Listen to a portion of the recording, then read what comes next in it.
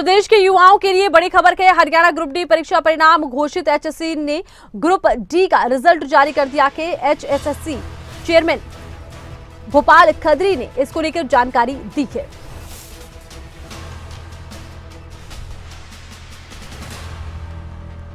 तो HSSC chairman Bhopal Khadri की तरफ़ से इसको लेकर जानकारी दी गई है और ज़्यादा जानकारी के लिए इस वक्त हमारे साथ जुड़ चुके हैं खबरें अभी तक स्टेट है Jitendra Chaudhary.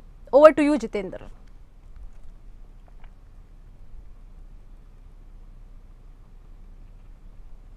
की अगर हम बात करें तो वो युवा जो लगातार एचएसएससी में रिज़ल्ट को लेकर के इंतज़ार कर रहे थे, नौकरियाँ और ज्वाइनिंग को लेकर के इंतज़ार कर रहे थे, उन तमाम लोगों के लिए, युवाओं के लिए ये खबर बहुत महत्वपूर्ण है। क्योंकि हमारे साथ आज एक लंबे अंतराल के बाद एचएसएससी के चेयरमैन भोपाल सिंह खदरी है, चूँकि मामला कोर्ट के अंदर चल रहा था। कोर्ट में लगातार इसको लेकर के सुनवाई हो रही थी। अभी भी कुछ मामले कोर्ट के अंदर है।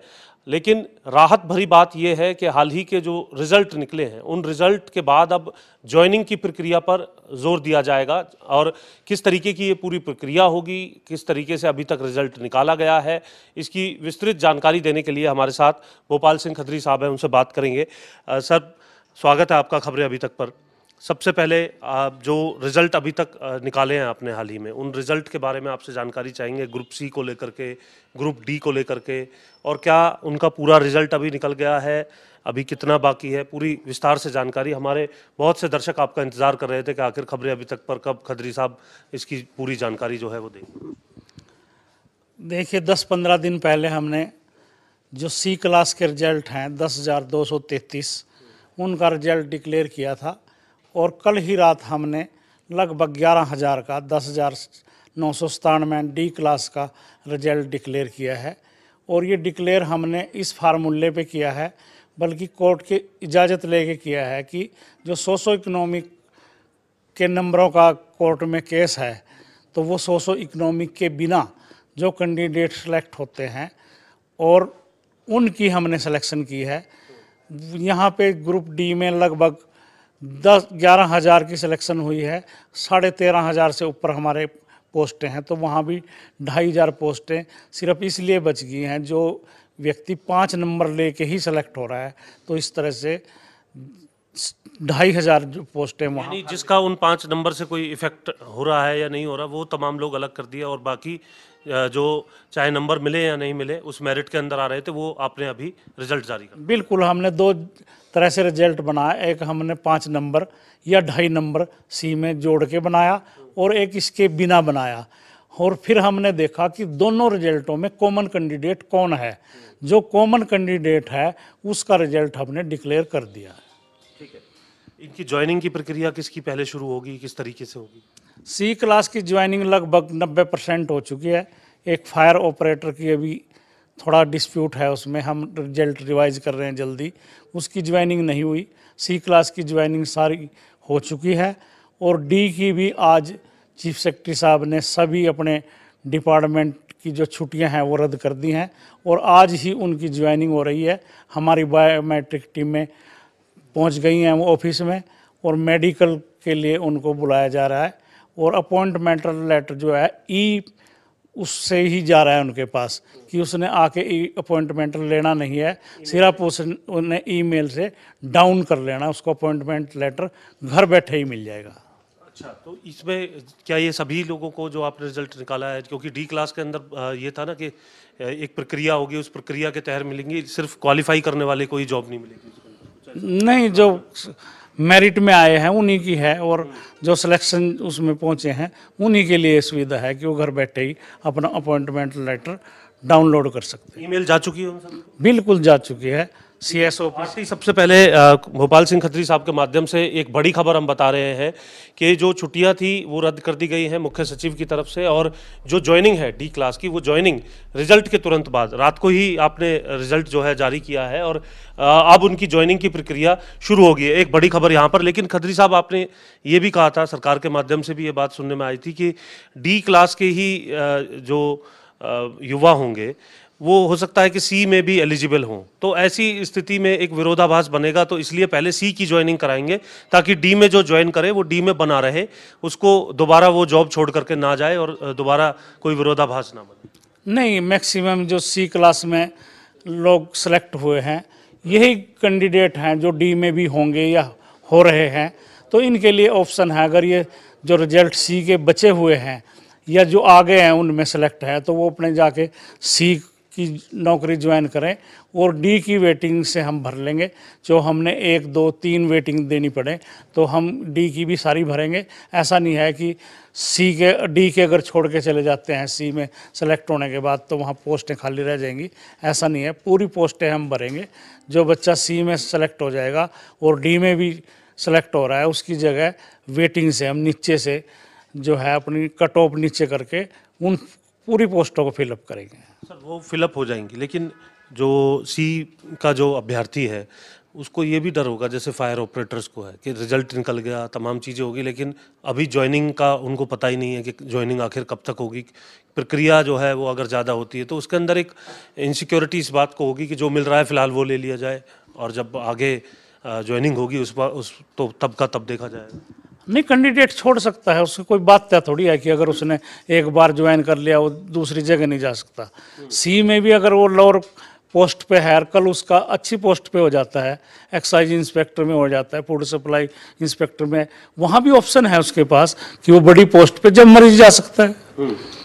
कुछ सर अभ्यर्थी बाहर भी बैठे बैठे हैं, शायद टीजीटी के हैं। उनका ये कहना है कि इसी फॉर्मूले पर हमारा भी रिज़ल्ट निकलवा दीजिए, हम भी बहुत समय से इंतज़ार इसको लेकर के कर रहे हैं। नहीं, इसका के लिए हमारे को कोर्ट ने अलाउ किया है। कोर्ट ने हमारे को परमिट किया है कि आप रिज़ल्ट निकाल सकते हो। टीजीटी में भी हमने कोर्ट से रिक्वेस्ट की थी कि आप इस फार्मूले पे हम निकाल दें या सोशो इकोनॉमिक के नंबर हटा के कर दें या जो ऐसी हमारे पास पोस्टें हैं जिसमें कैंडिडेट कम है, पोस्टें ज़्यादा हैं, उनका हम रिज़ल्ट निकाल दें। अभी तक कोर्ट ने हमारी इस बात को स्वीकार नहीं किया। जिस दिन कोर्ट स्वीकार कर लेगी, अगले दिन ही हम टीजीटी का रिज़ल्ट भी निकाल देंगे। ये रिक्वेस्ट हमने कोर्ट के आगे डाली हुई है। सर, जो अभ्यर्थी हैं डी डी ग्रुप के, कई बार हमने देखा कि टेक्निकल चीज़ें भी होती हैं। मेल उनको नहीं पहुँचा या सही मेल आईडी जो है समय पर नहीं दिया हो। उनके लिए क्या विकल्प है अगर उनको कुछ जानकारी इसको लेकर नहीं मिल पा रही है उनका?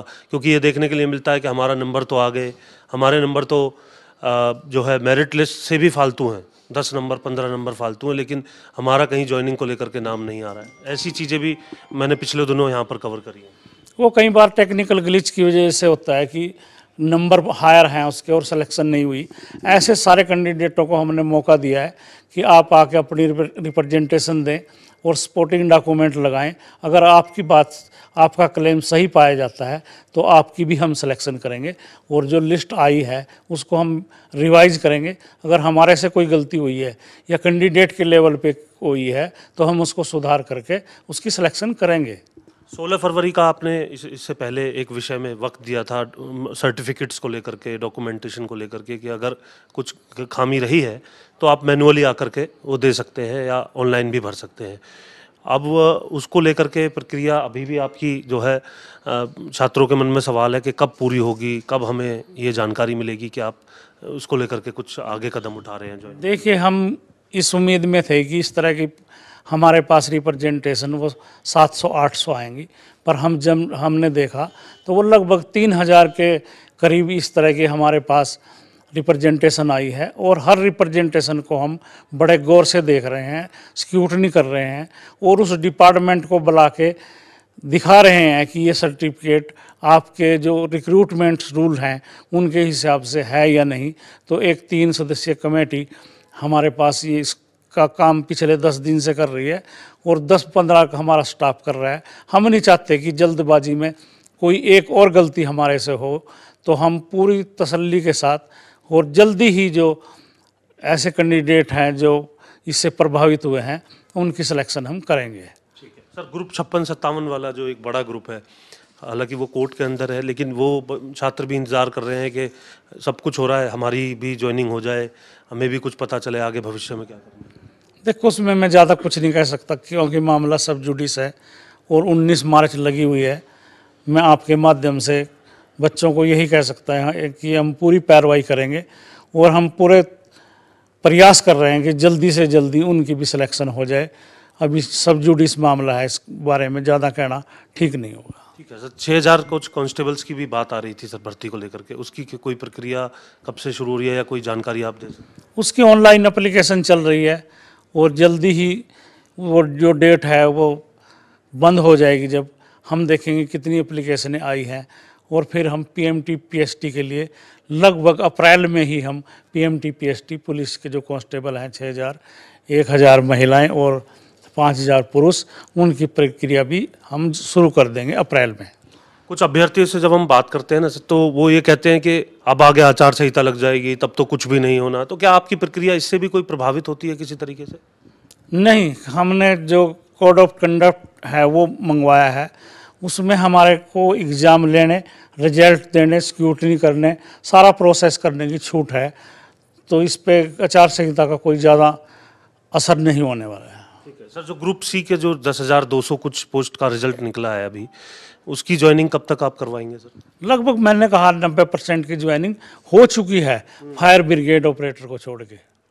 और फायर को लेकर के कुछ बता सकें आप अपडेट के? उसकी प्रक्रिया जो तीन हज़ार की है सर्टिफिकेट की वो कब तक पूरी हो जाएगी? कितना समय उसको और लगना है? वो चल रही है प्रक्रिया और एक लिस्ट हमने डाली है। हमने उनकी रिकमेंडेशन से डाली है फायर ब्रिगेड डिपार्टमेंट की। उन्होंने कहा है कि हमारे रिक्रूटमेंट रूल के हिसाब से ये ये इंस्टीट्यूट वैलिड हैं। तो हमने पूरा बच्चों को भी इंस्टीट्यूट को भी ये मौका दिया है कि वो आके अपनी मान्यता दिखा दें तो हम उन इंस्टीट्यूट से पास आउट बच्चों को भी इसमें कंसीडर कर लेंगे। सर टीजीटी वाले जो अभ्यर्थी हैं उनका कहना है कि जो ऑर्डिनरी तरीके से सुनवाई हो रही है उसमें थोड़ी तेज़ी लाने के लिए सरकार एप्लीकेशन लगाए ताकि उसकी तुरंत सुनवाई हो लगातार सुनवाई हो और उन्हें कोई राहत मिले। नहीं हमारा प्रयास है कि जल्दी से जल्दी भर्ती हो। कुछ चीज़ें कॉन्फिडेंशियल होती हैं जो हम बता नहीं सकते सार्वजनिक रूप से। फिर कह रहा हूँ कि सब जुडिस है मामला। इस बारे में ज़्यादा टिप्पणी सर ग्रुप सी को लेकर के अभ्यर्थियों का कहना है कि अब ग्रुप सी आप हर साल कराने वाले थे।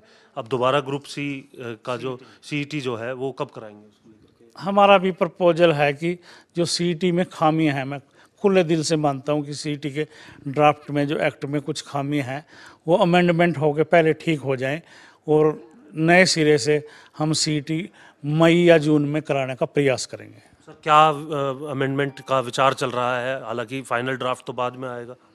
वो हमने जो अपने सुझाव हैं कि इन इन वजह से इस इस क्लॉज की वजह से लिटिगेशन पैदा हुई है तो हमने सरकार से कहा है कि इन इन पॉइंटों को आप रिमूव कीजिए। तो वो सोशल इकोनॉमिक सबसे बड़ा पॉइंट मानते हैं सर अभ्यर्थी भी क्योंकि रिज़ल्ट इसी वजह से ज़्यादा रुक रहे हैं। कहीं सर्टिफिकेट की एक्सपीरियंस की वजह से रुक रहे हैं। नहीं, देखो, मैं इस बारे में कोई ज़्यादा टिप्पणी नहीं कर सकता, क्योंकि ये सरकार का और मुख्यमंत्री जी का ड्रीम प्रोजेक्ट था कि जो लाभ है वो पिछली पंक्ति तक पहुँचे, ऐसे व्यक्ति तक पहुँचे जिसके घर में आज तक नौकरी नहीं है। तो मैं अपनी ही सरकार की किसी पॉलिसी को क्रिटिसाइज थोड़ी करूँगा। अभी सर, कुछ आगे के लिए भी पोस्ट अभी बची हुई हैं, कुछ आप आगे भी निकालने जा रहे हैं ग्रुप सी की कुछ पोस्टें जिस जिस तरीके का लक्ष्य रखा था, कोई आगे नौकरियाँ दोबारा निकालने को लेकर कोई? स्पोर्ट्स डिपार्टमेंट की हमारे पास कुछ रिक्विजेशन आई है उसकी हम एडवर्टाइजमेंट जल्दी करने जा रहे हैं। कितनी पोस्ट होंगी लगभग तीन हज़ार के करीब पोस्ट है। तो भोपाल सिंह खदरी साहब हमारे साथ सीधे तौर पर भर्तियों को लेकर के कुछ सवाल जो अभ्यर्थियों के मन में होंगे कुछ अभी भी शायद हो सकता है रह गए होंगे और वो सोशल मीडिया के जो प्लेटफॉर्म है खबरें अभी तक का, उस पर अगर अपने सवाल भेजेंगे तो अगली बार उन सवालों का भी जवाब लेने का हम प्रयास करेंगे। और सीधे तौर पर जो भर्तियाँ हैं, जो अभी तक जिनका रिज़ल्ट निकला है, उनकी किस तरीके की प्रक्रिया रहेगी, किस तरीके से ज्वाइनिंग दी जाएगी, आचार संहिता का क्या असर होगा, आने वाले समय में कांस्टेबल भर्ती से लेकर के स्पोर्ट्स डिपार्टमेंट की जो भर्तियाँ वो किस तरीके से आने वाली हैं, उनकी विस्तार से जानकारी भोपाल सिंह खदरी खबरें अभी तक को देते हुए नज़र आए हैं। जी, आरती। चलिए, बहुत शुक्रिया, तमाम जानकारी आपने पहुंचाई है और ये तमाम सवाल हैं जो युवाओं के जहन में भी रखे होंगे रिजल्ट्स को लेकर। तो एचएससी के चेयरमैन भोपाल खदरी की तरफ़ से जानकारी दी गई है। चयनित अभ्यर्थियों की आज से भर्ती प्रक्रिया शुरू हो गई है क्योंकि देखिए, शुक्रवार को भी छुट्टी की लेकर जानकारी सामने आई थी, लेकिन ऐसी कोई छुट्टी नहीं है। इस छुट्टी को इसलिए रद्द किया गया ताकि भर्तियाँ हो सके। शुक्रवार शनिवार की छुट्टी होने के बावजूद भर्तियाँ की जा रही हैं।